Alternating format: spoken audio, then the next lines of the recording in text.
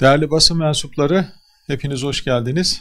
Ee, bildiğiniz gibi iki gündür e, Brüksel'de NATO Dışişleri Bakanları toplantısına katılmak için e, bulunmaktayız.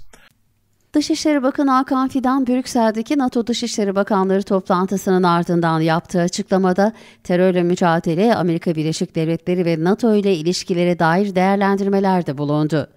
Fidan, NATO ülkelerinin Dışişleri Bakanları gayri resmi toplantısının 2025'te Türkiye'de yapılmasının kararlaştırıldığını bildirdi. Brüksel'deki toplantıda Türkiye'nin güvenliği ile ilgili müttefiklerden beklentilerini dile getirdiğini söyleyen Fidan şunları söyledi.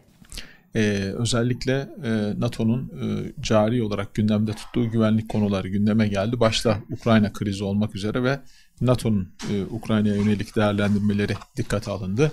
E, biz Türkiye olarak e, görüşlerimizi e, ortaya koyduk. Aynı zamanda e, NATO üyesi ülkelerden Türkiye'nin güvenliği ile ilgili beklentilerimizi de e, gündeme getirdik.